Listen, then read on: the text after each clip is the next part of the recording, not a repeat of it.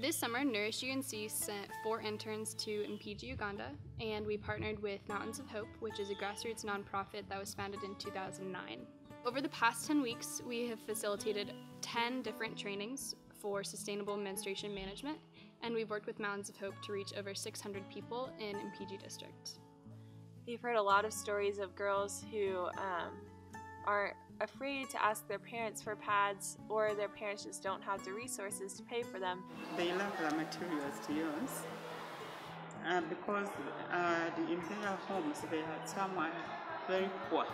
We've also heard um, countless stories of girls who don't have access to pads having to skip school and they fall way behind their male counterparts. Schools try to help girls when they start to menstruate, but they aren't able to provide enough pads to sustain all the girls throughout the week. When it starts from school here, we provide water, the girl cleans herself, we provide the pad, but for the following days we don't help. When girls are able to find access to sanitary pads, they're able to continue going to school while they're on their period. So that was kind of the goal of our training, was to support those girls so they could continue going to school.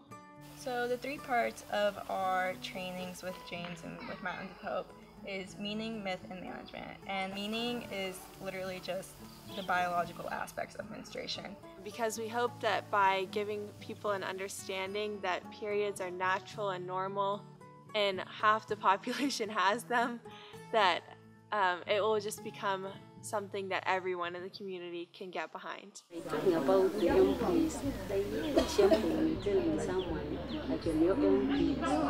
Just change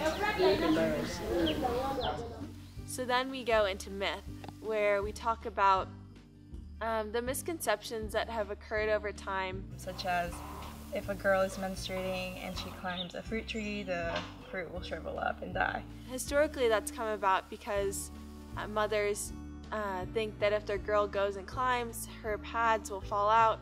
But we hope that now that women have more access to secure pads, that, that these myths that maybe were necessary in the past really aren't anymore.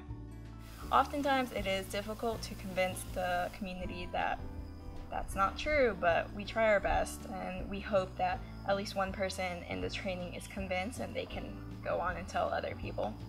And then lastly, we talk about management. For management, we talk about the ways in which a woman or girl can treat their symptoms, and um, also we teach them how to create their own reusable sanitary pad. And they actually leave the training with their own reusable sanitary pad, along with a little plastic pocket to put the sanitary pad in. And since the pads are made from materials that are found in a typical Ugandan home, the participants can go home and teach other people in their communities and in their homes so that they can spread the information that they were given. The knowledge we, we acquired is long lasting and we can easily pass to other pass it to other people in the community. Trainings have definitely been the concentration of our trip, but we're really lucky to be living in a house across the street from James, the Mountains of Hope director, and Lydia, our homestay mom, is the best. Our homestay family um, is this wonderful woman, Lydia, and her adorable son, David. And we've really gotten the chance to bond a lot with Lydia just because she really has become our second mom here.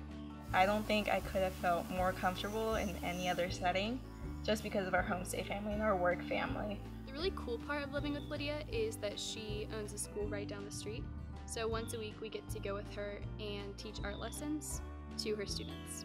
We work and play with the three and four year olds, which has been really rewarding and helps us feel like we know the people in the community where we live and work. It's been really cool to just see how easy I guess it is to um, jump into another culture when you have um, such supportive people around you, like Lydia and like James, the founder of Mountains of Hope. We've loved our work with Mountains of Hope, and James has a really special understanding of his community. We think that the work they're doing is really sustainable and holistic, and we really hope that in the future we can help them to continue achieving the goals that they've set.